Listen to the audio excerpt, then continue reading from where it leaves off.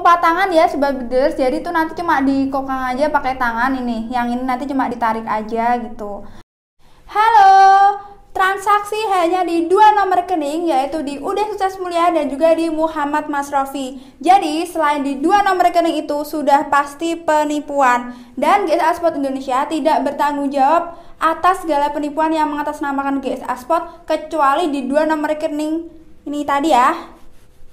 Oke. Okay.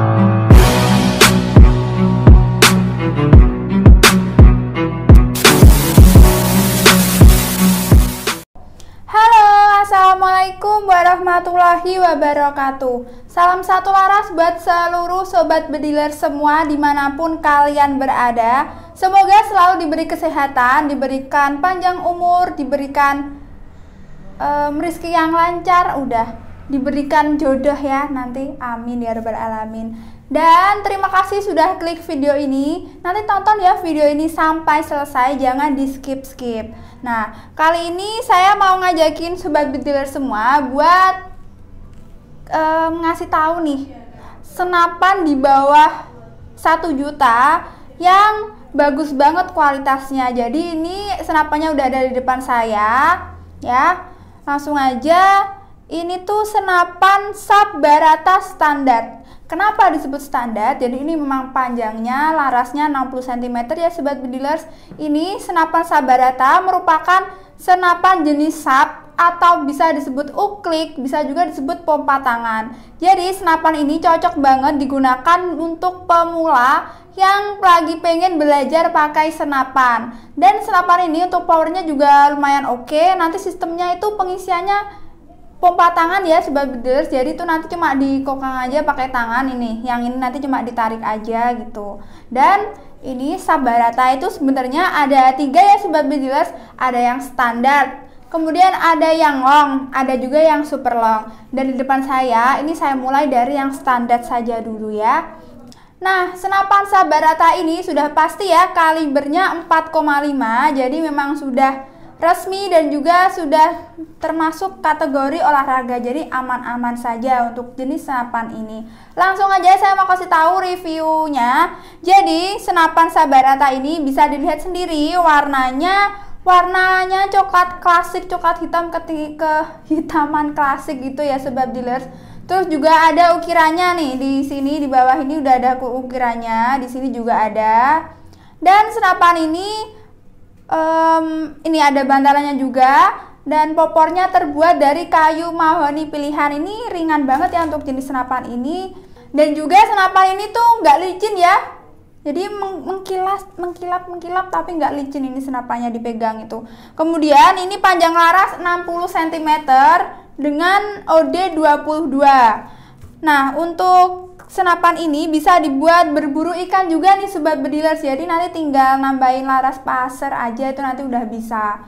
Kemudian ini nanti belinya boleh boleh sama teleskopnya beli full set sama teleskopnya ini teleskop 4x32 atau beli senapan aja juga boleh. Kalau untuk beli senapan aja itu nanti harganya di bawah 1 juta ya sobat bedilas dan di setiap pembelian sub barata klasik standar ini nanti dapat bonus. Bonusnya ada tali sandang ini. Ada juga aduh di sini nggak ada gambarnya tapi saya sebutin aja ya. Bonusnya ada tali sandang terus ada mimis tester. Nanti ada juga swivel ada STKS dan juga ada peredam bawaan dari senapan ini. Nah, bagi sobat bediler semua yang pengen beli senapan ini atau beli senapan yang lain itu bisa langsung hubungi nomor customer service kami di bawah ini. Nanti di link nanti di deskripsi juga ada ya. Dan juga hati-hati ketika beli senapan online pastikan pilih toko yang terpercaya, yang aman dan juga terjamin kualitasnya. Dan di GSA Sport Indonesia kita jual yang pasti ya sobat jelas kita no tipu-tipu pasti terkirim pasti sampai di tempat. Dan untuk transaksi pastikan hanya di dua nomor rekening yaitu di Uda Sos Mulia dan juga di Muhammad Masrofi jangan ke lain nomor rekening. Dan juga nanti GSA Sport Indonesia juga bisa menawarkan COD jadi nanti bayarnya di tempat aja itu juga bisa banget. Nanti bisa dibantu oleh CS-nya langsung.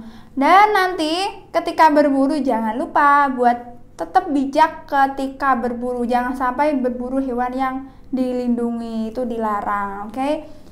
dan senapan ini bagus banget.